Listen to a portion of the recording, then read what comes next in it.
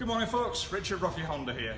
Now we often get asked a couple of questions pretty frequently about our side-by-sides. First, is there a two-seater version so I can take the wife with me? Or the husband, depending which way you go. um, the other is, can this fit in the back of a pickup truck? Well, before it used to be a bit of a problem and it was a tight squeeze. Honda actually came out with the Pioneer 500 here, specifically to address those two problems. So what we have here is a side-by-side, -side, a full side-by-side, -side, that fits on the same chassis as a conventional ATV. So it fits in the back of most pickup trucks with a regular box, obviously. Um, two seats in the front, plenty of space. So, you know, lots of space for everybody. Mated to our regular um, TRX 500 engine in there and DCT transmission. So it's a capable, proven package, all mated to a side-by-side. -side. Now, the other thing that uh, Honda looked at here was the rollover protection. Now, for our commercial users, um, occupational health and safety make some regulations about rollover protection, which means that down the line, ATVs aren't going to be able to be used. So Honda thought ahead to put a full industry standard roll cage in this machine, which meets all those requirements. So just to remind you, ATV 500 chassis with a side-by-side -side, full rollover protection. It's meeting all those boxes that any user could need.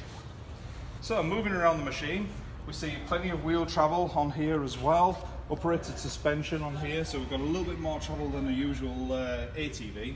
Of course, there are lift kits available for these as well. The doors, suicide style, so it makes it nice and easy to get into this machine. And again, you see the standard netting on the doors, which meets that rollover protection standard. Paddle shifts, you can ride these machines in fully auto, or you can have some more fun and shift up and down with the gearbox. Again, plenty of easy access here. As we move around to the back of the machine, you can see that this one's been equipped with a um, aftermarket box on the rear rack. Normally, what you would see is just a standard metal rack like so.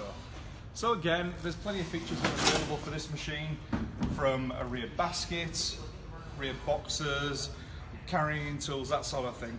So it's a very capable machine.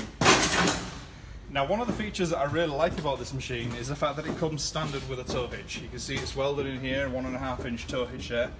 It's quite capable. This will pull like a 750 pound trailer, no problem at all. So it's great for, for the guys that want to use it on a farm, in construction, out on the seismic lines, as well as somebody that might want to tow a little trailer for camping. Um, you know, we can get these little two, two people campers nowadays. So it's a very useful machine. Independent suspension all the way around means it's very comfortable under trail.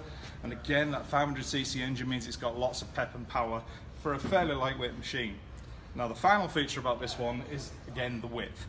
A lot of trails are getting restricted these days to avoid damage, which rightly so needs to be addressed. This will fit through all the restrictions of a standard ATV trail, so you can literally take it anywhere. Come down and see us at Rocky Honda and we'll tell you more about the Pioneer 500.